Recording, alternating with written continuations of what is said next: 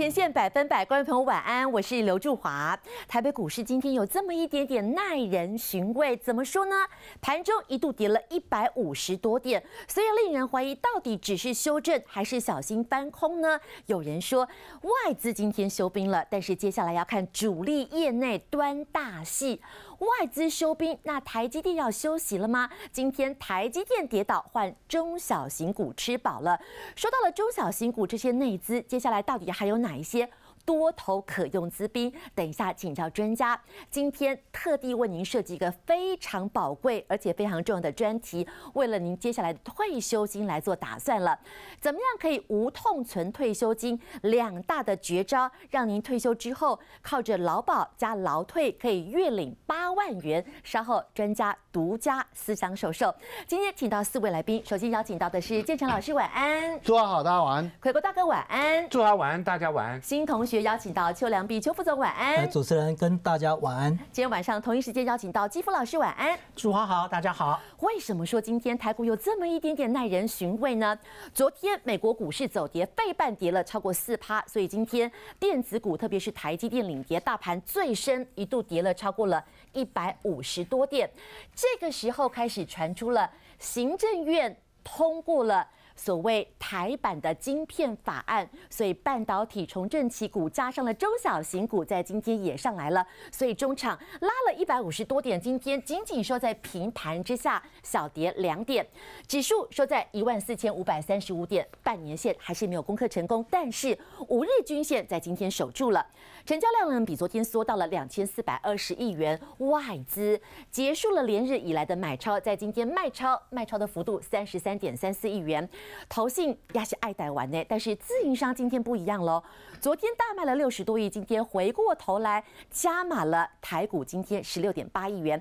三大法人总计在集中市场卖超四点三亿元，就来问问，今天盘中媒体都在写，因为行政院今天拍板通过所谓史上最大的投资抵减方案，又称台版晶片法案，到底内容是什么？建成老师，这对于整个的半导体族群多大的益处呢？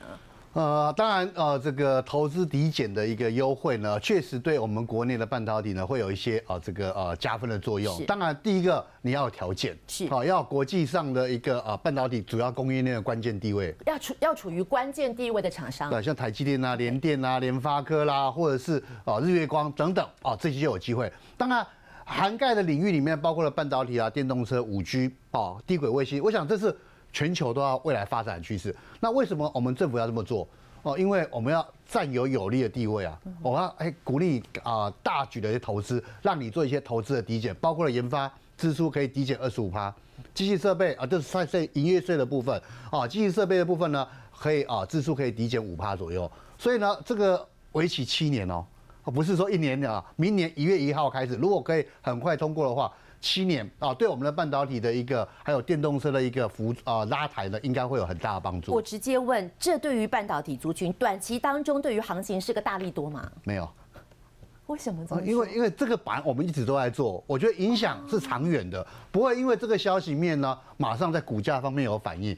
我说实在，前一段时间半导体也拉了一段了。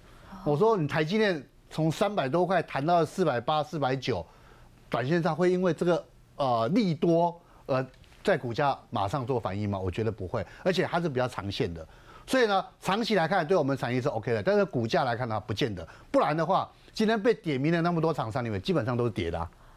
哦，对不对？所以呢，跟这个消息面来看的话，可能没有那么关系。但是呢，从产业面的角度呢，还有政府的政策，应该是可以加分，给他按个赞。好。到底这个法案对于短线当中的行情有没有大益处？在今天股价会说话，马上来看，今天大型的电子股台积电领跌，在尾盘的时候也仅仅缩小了跌幅。的确，台积电今天中场还是下跌了两块钱。一方面，前几天也涨多了。红海在今天还在打这个百元的保卫战，今天就收在平盘。联发科刚刚那个法案来说，对于联发科应该是最大的受惠者，在今天也仅仅小跌了四块钱，在今天收黑。收在七百二十五块钱的价位。中华电在今天收在平盘之下，电子股在今天表现比较消沉一点，唯独光学镜头厂商，外资认为在明年苹果应该会搭载所谓的潜望式的一个镜头，也就是折叠镜头，所以今天大力光登高一呼，带动了联一光，还有今天的新巨科、嘉陵、华金科，今天大家在说有光的都涨，还有安控族群，精锐在今天再度转强涨停，所以带动了一片的红彤彤。奇偶、折固、生态、深瑞以及天悦店，包括了自己的精锐、圣品，今天都在涨。除了安控之外，今天中小型股一马当先哦。谁领头？生技族群年底来到了全球在医疗非常重要的忘年会了，在今天生技族群再度成为了资金的避风港。伸展、宝林、富锦、明基一、长盛还有联合，我们整理了在今天带着量上涨的个股有没有什么特色呢？奇偶、深瑞、天悦电都是安控，宝林、富锦跟精锐，所以今天似乎带着量涨的。都是在之前，呃，所谓的强势股。但是有一些强势股涨到了今天，有一些些刹车喽，怎么一回事？筹码有没有松动的疑虑？华兴、东哥、华邦电、南亚科以及新兴，怎么一回事？有一些的确涨太高了，K 值已经到达了八十五以上，有谁呢？K 值到达了八十五以上，到底会钝化还是小心可能会往下交叉？大力光、创意、世界、金星科、宏基这些都提供给您做参考。台北股市今天算厉害，因为一度从大跌了一百五十多点，拉回到了几乎平盘做收。整个的亚洲股市在今天都比较低迷，因为昨天美国四大指数都跌，日本股市跌，韩国股市跌最重，跌幅重达了百分之一点四。香港恒生指数下跌了百分之一。哎，台北股市可圈可点哦。但是我就要问了，今天有一些多方讯号，有一些空方讯号，到底是修正还是翻空？首先，先请教建成老师，建老师，我们今天整理出来几个多空讯号。多方讯号，今天上涨的家数远远的多于下跌的家数，下跌最后收盘只有三百多家是下跌的。融资昨天小增没有错，但是买的是反向的。类股今天轮动，有中小型股接棒，但是台积电熄火了，而且大家说这种急涨缓跌就是空头啊。股汇今天同跌，台币在今天也没有前几天这么的强势，K D 指标在高档向下修正还是翻空？呃，我想应该还是修正而已，还是修正，没有还没到翻空了哈。第一个，我想空方讯号里面，原本这就是空头的反弹啊，大家都可以认了这叫反弹，不是回升嘛。所以呢，急涨缓跌本来就是一个特色啊，所以不能说短线量涨那么多之后，我看到这个现象，我就说它空头了，哦，不应该不是这样。那台积电就算熄火，也没有跌很多啊，对，嘿，还在这边嘛，还算强了。那汇市的部分呢，虽然贬。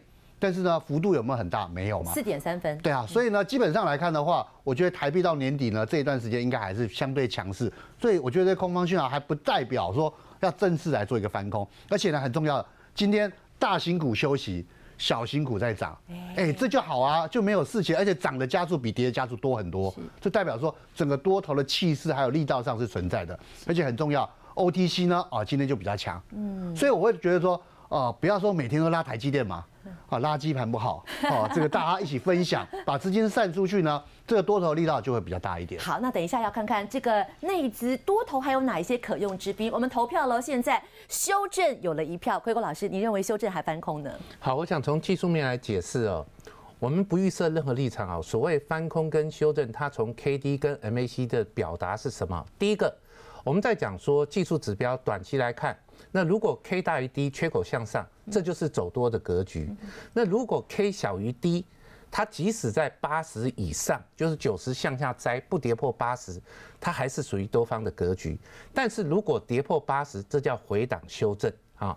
那中线指标 MAC 是决定所谓修正跟翻空的最关键。如果今天柱状体是正值，那它处于买方市场，这个还是属于任何拉回都属于修正。但是呢？柱状体如果是转负，就由正翻负，那它就转变成卖方市场，这个时候我们称为翻空。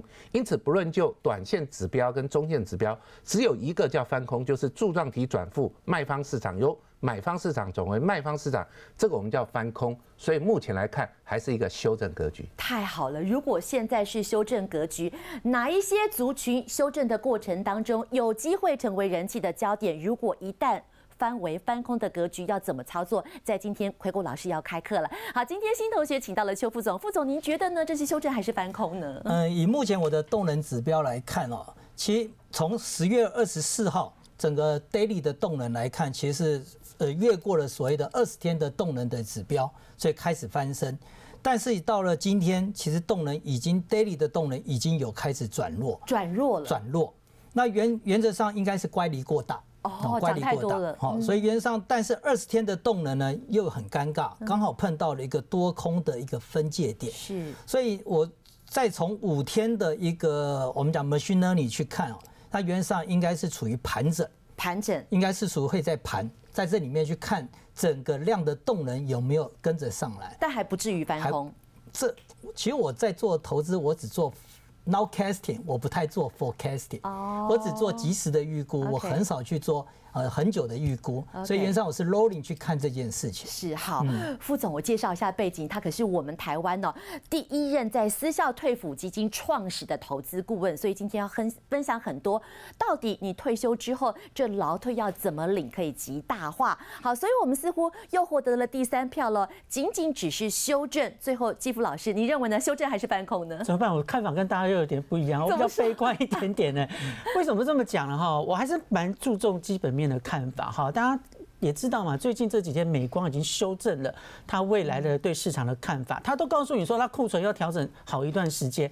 如果以这个逻辑来推算的话，半导体业至少我觉得到明年第一季甚至第二季都还不会好。那这种情况之下，你要知道半导体业是台湾股市的重点哈，所以在基本面不好的情况下，我觉得呃未来还是有可能会比较偏弱的走势。那第二个就是说前几天不是出现了三千亿的量吗？对，你要想想看哦，如果要继续往上涨，一定要有足够的量去支撑它。那你觉得现在的情况可以维持到两千五到三千亿的量，这样一直维持下去吗？我不这么认为，所以我觉得那个三千亿的量可能哦有一。部分人是可能要准备套牢一段时间。哦，好，有正有反的意见非常好，所以我们今天两个半小时的节目当中就要来告诉你，如果是修正的格局怎么操作，如果一旦出现了翻空的讯号，你要怎么办？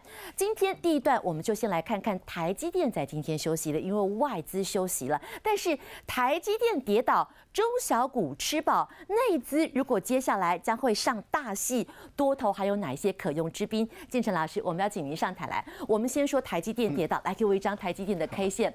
台积电在今天的走势，尾盘拉起来了，我看那个那条线呢，像今天几乎是收在盘中相对的高点。呃，在反弹的过程当中，今天台积电有没有败相？我觉得还没有，还没有。而且呢，今天只有跌两块钱，拉了一个长下影线。对，基本上来看的话，那么多的缺口，有没有？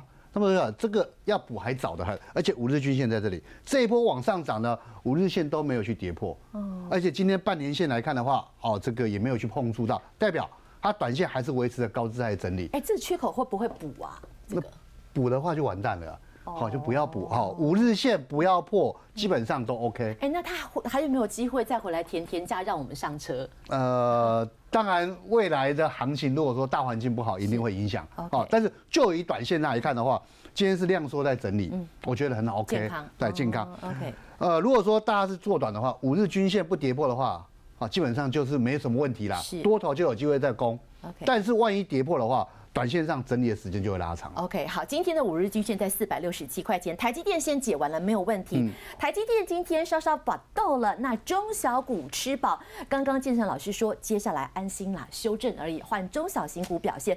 内资还有哪些多头可用之兵？呃，我想呃，上个礼拜我也跟大家讲，哎，这个年底要做账嘛，内资的资金开始火热，包括投信，包括集团做账。我们讲完之后，很多集团股都涨上去了嘛，还没有完。还会继续投信还有集团做账，应该会轮流不断的做上去。但是呢，不是它全面性的个股个股在轮那。另外一个呢，既然外资没有那么空了啊，虽然今天卖超那，资金也回来了，这些主力大股东啊，怎么舍得走呢？当然要拼一下吧，进门睡那么久了，对不对？要拼一下。嗯。而且呢，为什么这样讲？最近呢，涨的很多高价股都很强，看回不回，对不对？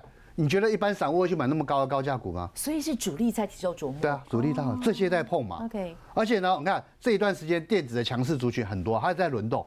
这个 IP 已经涨了无法无天了，对不对？嗯。啊，半导体也很多在涨啊，窄板啊，铜箔基板啊，像今天的光学股、安全监控这很多都是内资的作为 OK 并不见得是外资的动作。那船产里面基本上是集团，那你看台塑集团，啊，这个水泥股也在动，玉啊，这个汽车集团玉龙集团也在动，生技股呢对啊，也很多有题材性就往上拉，所以我觉得这些基本上很多在内资所主导的。所以这些内资主导的都有机会再轮动嘛？会没有机会，有很有机会。当然，如果说像 I P 股涨那么多了，嗯没有人，我不建议大家去追啦，是风险性就比较高一点点。嗯，好，那现在可以追什么呢？啊，我想很多还有低基期的，还没有很开始发动的哈。我想这些强势族群呢，哦，像这个大力光啦、创意啦、精锐，今天很多涨停板还继续创新，雷虎也创涨停板，宝瑞啊，各产业都有。OK 但是这些呢，很简单，他们属于强势股，对不对？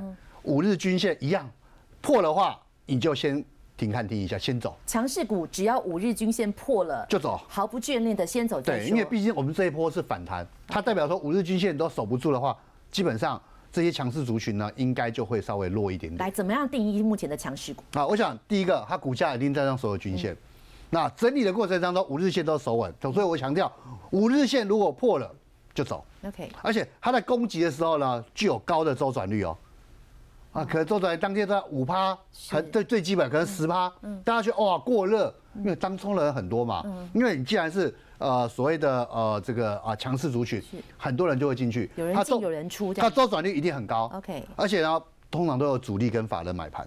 OK，所以这些呢，基本上从技术面角度还有筹码的角度来看的话，假设有这种现象，基本上它是强势股。OK，那最近呢，今天很多涨停的，涨幅很大的，基本上都包含在这里产业里面。OK，这些强势股很简单啊，反正破五日线你就保守一点了。是好。接下来内资要看他们上大戏了。嗯内资现在还有很多的题材，投信做账，集团做账，主力大股东饿了一整年要拼红包行情，电子族群这些都是主力琢磨的族群，有机会轮动。嗯怎么样判断强势股？这四个条件具备的话嗯，只要拉回跌破了五日均线，不要眷恋，先跑再说。先跑再说强势股我不敢追。对，哪一些最近刚刚开始发动，我可以追。那我觉得有些已经发动，但是未接点还没到那么高，我觉得还有空间的那，给大家做一些参考哈。我想这也是前三季有赚钱，或者是转亏为盈之类的哈，这个没有关系。龙神因为第四季就是传统旺季，那最近重点是投信跟外资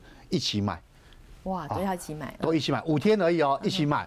还有一个呢，大户有没有？我抓了千张大户持股，这上个礼拜开始它是成长的，它是增加的。大户千张大户持股是往上攀高，代表筹码是集中的，而且呢，他们千张大户的持股比率呢，没有超过七成，代表还有空间，是也没有低于三成 OK 代表说这些大户很集中，嗯信心十足对，信心十足。所以呢，基本上这几档个股呢，可能还有一些空间有赚钱，然后外资也买，对千张大户主力业内都在里头，对对对最主要是空间还有，对，OK，好，好，第一个，我想窄板这几天在休息，前一段时间很强，对不对？我觉得指标还是看新兴增长。那呃，这个法人、外资、投信都在买方。那 I P 股里面呢，不是金星科 M 三一都创新高吗？联电集团的智源呢，有法人买在位阶点又比较低一点。其他船产里面，呃，毕竟是旺季的，像散装轮的域名、亚东集团集团做账。龙神虽然第三季有业外的造成亏损，但是第四季是传统性旺季。是然后大神钢因为最近镍价谈得很凶，每公吨来了三万块美金以上。不锈钢的部分，其实它前三季赚了五点九一块。你看华兴都这样涨了，你像不锈钢的部分，它可能也有机会。所以你看啊，法人都在买它，所以我基本上我认为他们的基期啊不是特别高，应该都还有空间。来，。我们一个个来看哈，星星，星星今天收在一百五十八点五块钱，股价最近算相对的高，但是来到了另外一个波段，有机会再攻上去吗？对我们时间看长一点点，我们看到？这条红色叫年线，对，它很早领先大盘往上攻，底型出来之后，这边跳空有没有？跳空上去之后，它有没有想要去补它？没有，我就高姿态整理，让它降降温，那整个量也降下来。所以呢，我会觉得说，这边横盘整理之后呢，一旦往上突破，就有机会去挑战年线。投信买了一缸子，从十月份以来天天买，还有机会再补吗对，有机会，因为它持股比例的各方面来看的话，应该还有加码空间。？OK，对，所以呢，很简单，只要这个那么大的一个多方缺口，我不要去补掉它，基本上往年线来继续反弹，这空间是有的。OK，好，那我们再看一档智源好智源在今天的股价刚刚把半年线给站上去，比台股还要强。对，所以呢，它一样这些 I P 股涨很多了，智源当然有点比较落后一点。我不敢去追金星科啊，我不敢去追 M 三一啊，连创意都从哦涨到七百块了，对不对？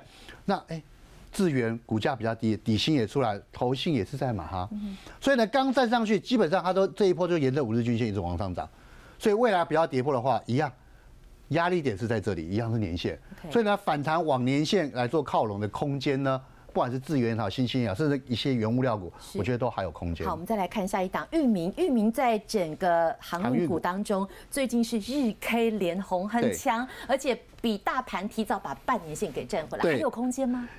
大家觉得说最近涨很多，对不对？对我没有让大家去追逐它，但是你看那么长的时间点里面，它有涨很多吗？没有，对不对？他只不过刚回到这个平台区域而已吧。我刚过关嘛，这底打了那么久，我刚刚站上去了，而且之前的外资也好，投信也好，以前都没什么买，最近都一起买。啊，虽然 B D I 指数没有很强，最近有点回落，但是呢，大家寄望说明年第一季还是有一些强运的啊空间，所以基本上。因为明天礼拜五连涨了那么多天的哈，应该会休息一下。啊你不要去追它，回来因为跟五日线的正乖离也比较大一点，回来再看，回来再接，刚好半年线的位置点交叉在这边，是。不要跌破的话，应该都还有还可以做一个留意。好，刚刚名单当中最便宜的荣成来看一下，嗯。荣成今天收四呃十六点四块钱的价位，连续三天在高档有一点过不了。呃，对，没有错，短线上因为涨价的题材，先大家呃拉了一波，但是你看法人基本上没有没有跑，哦，我们时间看长一点点，基本上它股价也是在低档。OK，啊，当然前破这边的压力点是存在的，所以呢碰到之后稍微震一下。不过这底型有没有出来？有啊，有对不对嗯？颈线，所以呢未来呢，如果说拉回比较深一点，这个颈线没有跌破，其实它多头价会存在，也不排除还有在往上攻，只是说它。净值还有十八块、十九块左右，应该我没有记错是十八块，现在十六块多，股价净值偏低。假设第四季有转机，因为第三季是业外亏损，OK 转投是中国大陆的亏损。如果说开始有转机的话，也不排除就是哎往净值来做靠拢。OK，好，太好了！刚刚那个名单，大家再回顾一下哦。最近有一些强势股不敢追，但是内资还在里头要端大戏哦。有哪一些？其实整个族群强势很久了，但是有一些个股相对的低档还没有开始发动，这些给您做参考。不过同一时间也我也要延伸出几个问题，比如说 ABF 载板，甚至于在 PCB 族群最近有一些强弱分明了，怎么一回事？题材还有吗？另外，华兴前几天好热，最近稍微有一些休息了，好多族群涨到了今天，强势股有一些些的休息，怎么一回事？还能够再爆吗？甚至还能再追吗？休息一下，持续请教专家。